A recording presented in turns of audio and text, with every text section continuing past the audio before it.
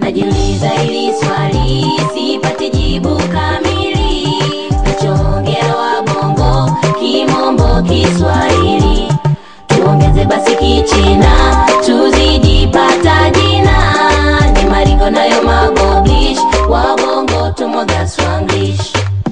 lugha yetu ya taifa kiswahili. Kwa nini tusiboreshe kwa majivuno majigambo na sifish kama jinsi ilivyo kiswanglish nasi tujivunie lugha yetu mwakilishi. Hadi miakusa sasa naongea kinyaklish. Moli pabedi desti dodo. Kwa kuchanganya kikwetu na kimombo. Infact nimekuzimikia very december. Because kwa sababu wewe one of a kind. Usmindi sana na chokotel kwana tajichenje i just like watu kama hawa siwapenze you know what i'm saying? Wanaleta confusion wanaongelea solution ya kumaliza pollution bwana dingi siku moja ni job 100 baada ya maza kukoton fire no house uliteka taxi kumpeleka dingo hospitali mzuko ameshanipanda mwanangu nataka ni mwage manyanga nikupe za kijapenga unapenda za kimachinga minyoshi yo shoka yo tomodachi no ipai hai imakanyamba tashi mwana usenze wakana nai hai shiko tunaye okene naye zenze wakana nai hai sipati jibu kamili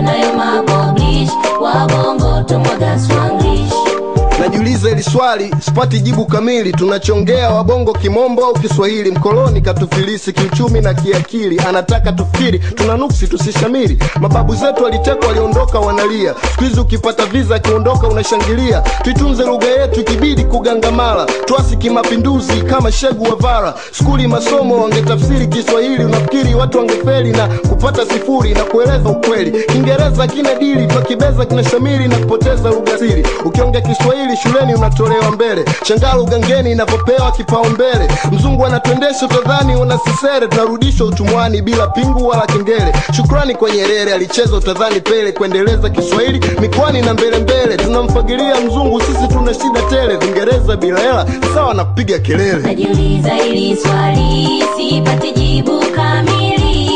Nachoongea wabongo kimombo kiswahili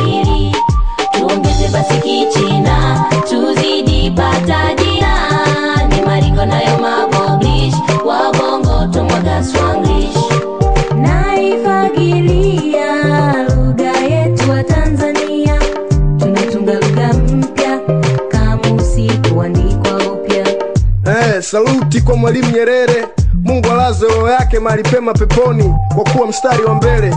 Joakim Chisano, Abdurrahman Babu, Kwame Nkrumah, wote hatukuwa nyuma katika harakati za kugombania lugha yetu. kama joakim chisano juzi alienda kwenye mkutano akaongea kiswahili watu walimshangaa sana wanaweza wengine wakafikiri kwamba tumeanza kusahau nashangaa watu wawatumii lugha kama tashtiti watanashati rabuka tunamwomba mzee kipimbo cheza apitie maskani achezeshe kipimbo chake chichichichi kwa wote wanaopoteza.